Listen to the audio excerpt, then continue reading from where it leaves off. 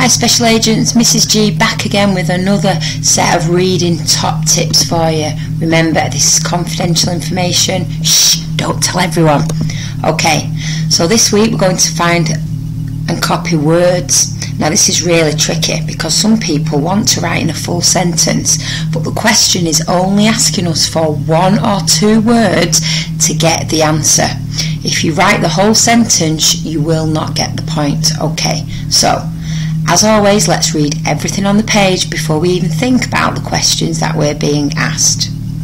William unwrapped it and took a big bite. Ping went the little coloured sweets. Crack went the chocolate. Squelch went the ice cream. Crunch went the ice cold rock hard toffee. And guess what? Push, pull, jiggle, joggle. Poke, flick, wibble, wobble.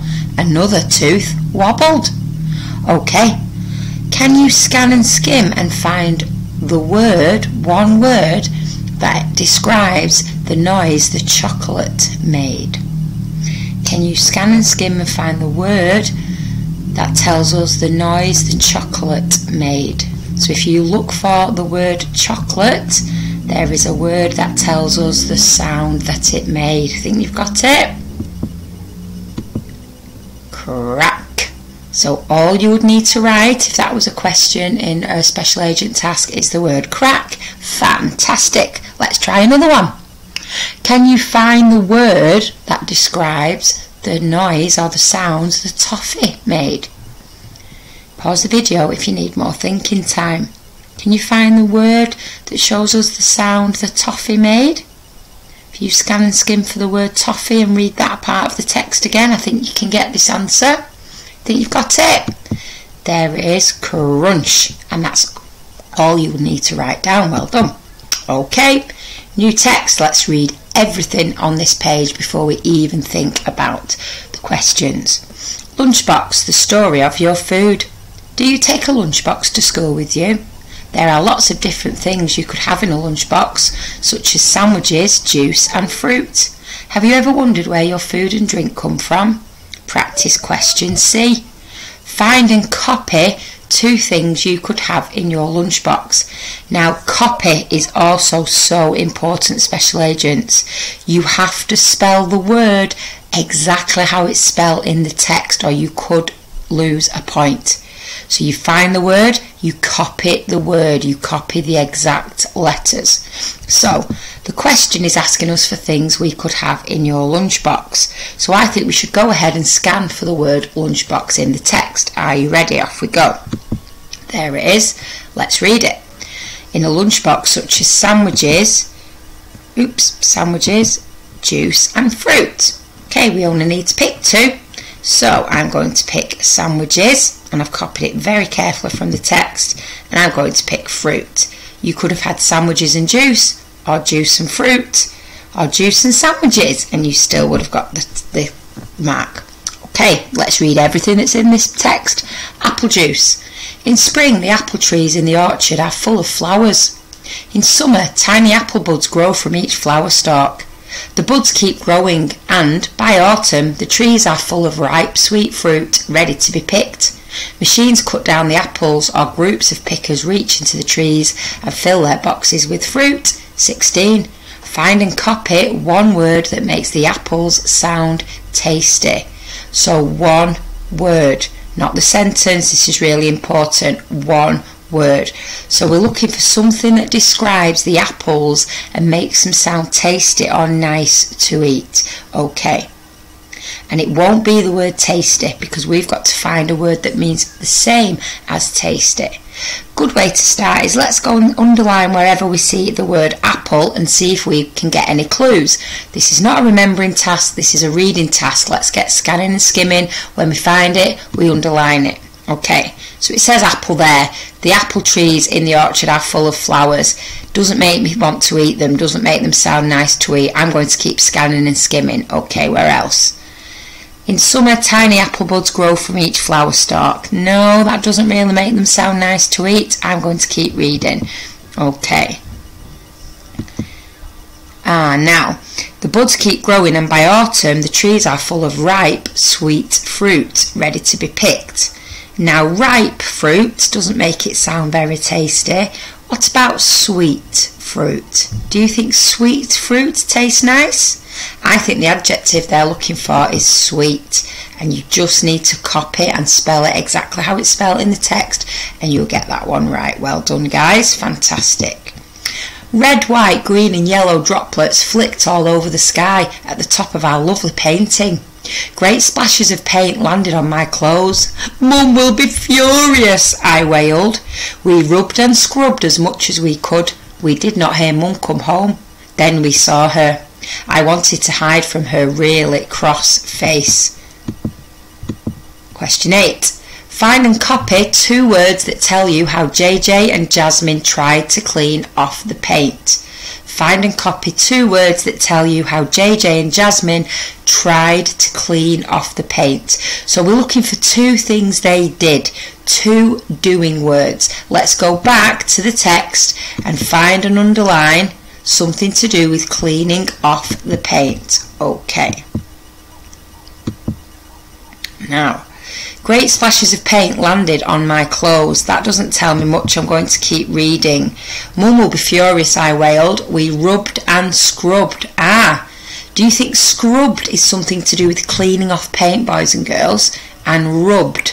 Now I know they're past tense verbs because they end with ed. Rubbed and scrubbed. So that means they were trying to clean off the paint. I think the words they're looking for are rubbed and scrubbed. So what we do, we go back and we pay attention to the double B and the ED. We write rubbed on one line and we write scrubbed on another and we've copied it exactly how it's spelt in the text. Well done guys, fantastic. Okay, we've got a little bit more to read, you know the rules. Let's read it first before we even think about the questions. The baker mixes the flour with water, sugar and yeast, turns it into soft squashy dough and bakes it into a very hot oven. Out come fresh loaves of bread, ready to send to the shops. Number 13. Write two words that tell you what the dough feels like. So, looking for something that describes the dough. Adjectives describing words. So, let's go back and scan and skim for the word dough. When we find it, underline it because the answers could be very close. So, there it says dough. If we read to the full stop and bakes it in a very hot oven, that doesn't help us at all. So I'm going to go back to the beginning of the sentence where I found the word dough and read it again and see if I can find two adjectives. I wonder if you spotted them before me, special agents. The baker mixes the flour with water, sugar and yeast, turns it into soft, squashy dough. I think I heard some adjectives, did you? So I heard the word soft, does that describe how something feels? I think it does. And I also heard squashy. And they've used a comma in between two adjectives, so I also knew to keep looking after the comma. So all we do is look carefully, copy soft, exactly how it's spelled in the text, and put squashy on line two, spelling it exactly how it's spelled in the text, and we will get that point well done. Living in a castle. When you think of a castle, you might have stories like King Arthur in mind. You might even think of stories about princesses and dragons. But what were castles really like and who lived and worked in them? Hundreds of years ago, when these castles were new, lots of people lived in them. The high towers and thick walls kept them safe when there were battles. Today, many castles are ruins and are falling down. D. Find and copy the name of the story that people think of when they think of castles. So we're looking for the name of a story. So remember what we've learned in a previous video. We need to either look for the word story or a word similar to story and find it and underline it and see if the answers are there. So let's go back to the beginning of the story and find and underline. I can't find story, but I can find this. You might think of stories like King Arthur. So, what's the name of the story that we might think about? King Arthur. Now, not only would I like you to copy it down properly, I would also like you to remember the capital letters for King and Arthur. Tell someone at home why they must have a capital letter. Well done, special agents. Okay, fantastic. Lords and ladies. A castle usually belonged to a rich lord. He lived in the castle with his family. His wife was called a lady. Their children had their own garden to play in and lots of servants to do things for them. Knights. Knights were important men who worked for the Lord. They were skilled fighters who kept the land safe from robbers and enemies. Question 9. Find and copy one word that shows knights were very good fighters. So we're going to go back to the text. This is not a memory job, this is a reading job.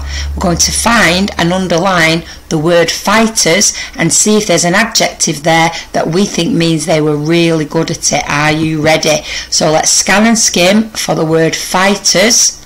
When we find it, underline it, okay? So I know this question is about knights, so I'm going to go straight to the bottom piece of text and I'm going to scan from there. So scan and skim for the word fighters. There we go. They were skilled fighters. Which one of those words that I've just said means good at something? Think you've got it? And the answer for that one is skilled, and you must spell it properly because the question is telling you to find and copy it. Okay, well done, guys. Fantastic. On Wednesday, Molly was building a monster when her mother said, Molly, tidy up. But Molly was too busy having fun. Then Molly went for tea and she still hadn't tidied up. When Molly came back, the living room was tidy. Who's tidying up? I'd like to meet them. Maybe it's an octopus, she thought. Molly looked everywhere, under her bed, inside the top drawer, and even down the toilet. But Molly couldn't find octopus anywhere. Then she had an idea. Number six, where did Molly look for the octopus? Write down one place. We need to go back, go back and read again like we trained to do last week and look for look for the octopus or the verb look. Are you ready? So let's scan and skim for where Molly is looking. Now because this is a story, it's probably going to be look in the past tense, so looked. Got to add ed. Can you find the word looked? Molly looked everywhere, under her bed, inside the top drawer, and even down the toilet. The easiest thing to do here is copy down the first place you're told. So I'm going to copy under her bed, and I would get the point for that. Well done, boys and girls. So, winter parcel. Today I'm like a parcel, wrapped up from top to toe, protected from the icy winds, the rain, the sleet, and snow. My head has got a hat on, my neck hides in a scarf, and on my hands some puppet gloves, a tiger and giraffe. My coat is thick and furry and does up very high, and on my feet I've special boots to keep me warm and dry. So there's little of me that anyone can see. This walking talking parcel is most definitely me. Number 19. Find and copy two words that show the coat is warm. So we're looking specifically for the coat. So scan and skim and there will be some adjectives about the coat. Okay, are you ready? Let's go back. My coat is thick and furry. Think you've got the adjectives? What is the coat? It is thick and it is furry and you would get the points there. Well done secret agents. Remember don't share these top tips with everyone. Leave me a like if you'll be tuning in next time. Bye for now.